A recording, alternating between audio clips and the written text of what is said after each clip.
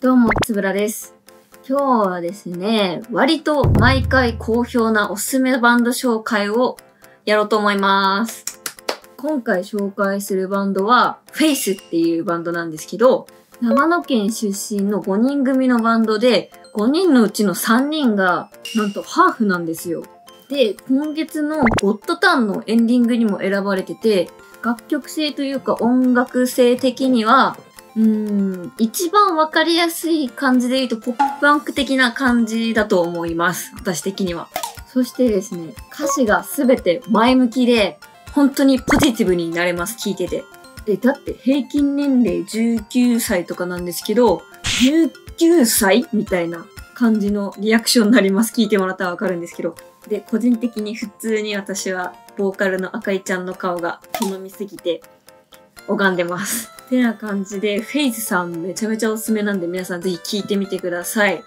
いやーこれはですね、CU スマイルと一緒に見たいっていう気持ちしかないです。対バンしないかな？まだまだ全然若いので、これから絶対ブレイクすると思うんで皆さん要チェックです。で、この話とは全然関係ないんですけど、前のギターソロドンっていう動画でクイズの中に小鳥とハンブレッダーズっていうバンドが出てきたんですけど、私と動画に出てた魚子っていう子の中ではかなり上のレベルのバンドだっていう意識があったんですけど、割とコメント欄とか見てると、まだマイナーなバンドじゃないかっていう意見がちらほら見受けられたんで、改めてハンブレッダーズと小鳥について紹介したいと思います。もっと聞いてほしいっていう意味も込めてもう一度紹介しようと思います。まず、ハンブレッダーズについてなんですけど、私はこのバンドは本当に学生時代に一番出会っておきたかったバンドです。ギターソロドンの動画でも言ったんですけど、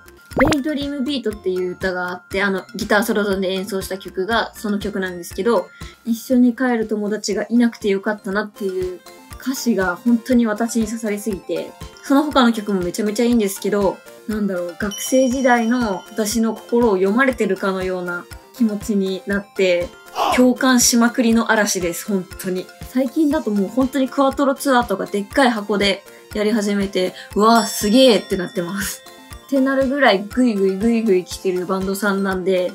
あとね、常識の範疇っていう曲があるんですけど、その言葉遊びとか、歌詞の感じとかリズムとかがめちゃめちゃ好きで、いつの間にか歌ってることがあるレベルですね。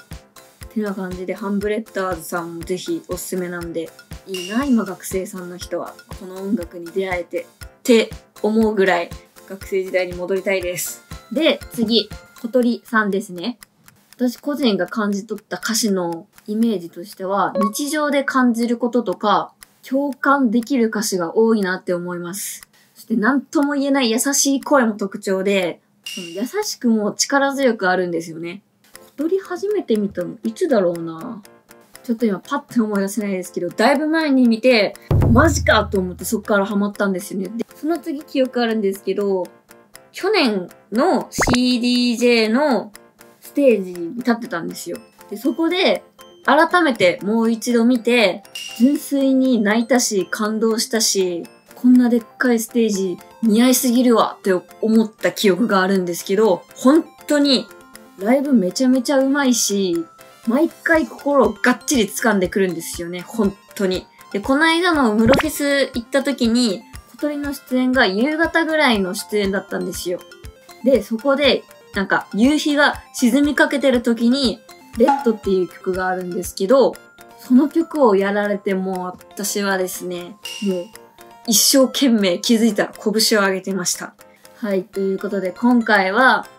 私のおすすめバンド、フェイスプラス前回の動画のコメントであったハンブレと小鳥を詳しく紹介しました。